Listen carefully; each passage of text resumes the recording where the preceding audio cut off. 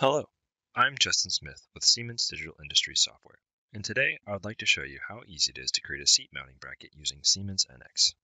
In the graphics window, you can see we have a bicycle with the child seat mounted to it. However, if we take a look, we can see that there is no bracket that connects the seat to the rest of the bike. To fix this, we'll use NX sheet metal. First, I'll need to transfer some reference geometry from the assembly in order to construct the bracket. Now that that's done, we can get started with the sheet metal bracket. This component will be symmetric, so I'll begin by trimming half the reference geometry since it makes the display more clear. To do this, I simply select all the reference geometry and the existing datum plane.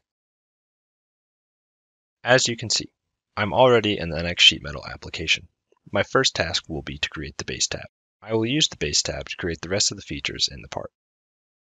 To create the tab, I'm just going to use the sketch profile and use the reference face to position it. After projecting the reference geometry onto my sketch, I'll create a profile to connect the reference curves. As you can see, I'm simply adding some line geometry in order to finish the profile sketch used to complete the tab. I can use the trim command to tidy things up and complete the sketch. As I exit the sketch, you can see that a tab with the default thickness will automatically be created. Now that we've got the initial tab, we can continue to develop the sheet metal shape using the standard flange command. I can select the edge of the tab and check to make sure the new flange does not interfere with the reference geometry. The flange is already the appropriate length and angle. As you can see, the second flange also clears the reference geometry.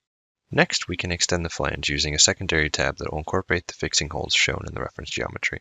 I will select the flange we created to make the sketch for the tab. I'll use the project geometry function to reference the existing flange. Then I'll reference the holes and edges of the bracket to fix the bracket to the bike, which will ensure an exact fit into the assembly. Next, I'll extend the reference geometry to finish shaping the tab. You can see how quickly lines can be extended. This helps to speed up the sketching process. Lastly, I can trim the remaining lines and complete the sketch.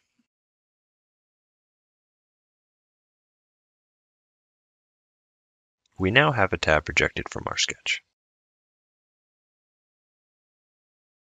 You can see that there's some interference with the bracket in the reference geometry. We can add a jog to the sheet metal to correct it. To do this, I just need to sketch a line on the tab we just created. This line will become the jog line that the sheet metal bends around.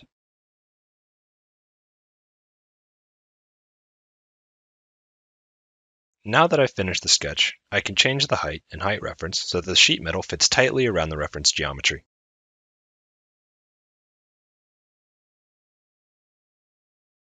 Once we are satisfied with the results, we can repeat the process for a second jog. I simply select the reference geometry for a jog line and finish the sketch. I will change the height to 18 millimeters, reverse the side of the jog, and change the height reference so that the sheet metal is flush with the reference geometry to make a more secure fit to the bike. It looks like the bracket's bending right around the reference geometry exactly how we want it to, so we can move on to the next step. I'd like to use the contour flange command to create a contour flange that wraps around the tube tightly. I select the edge I need to connect the contour flange to, then I dynamically drag the plane to the edge. Here I'll sketch out the shape that I want and set this line tangent to the tube to ensure that I get a good fit.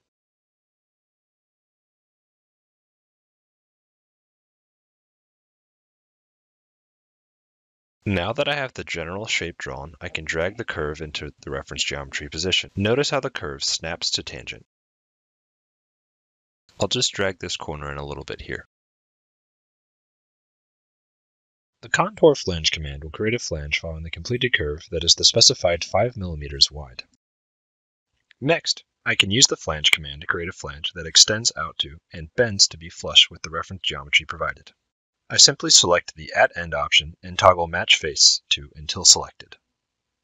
Once I've done that, I select the edge and corner of the base tab.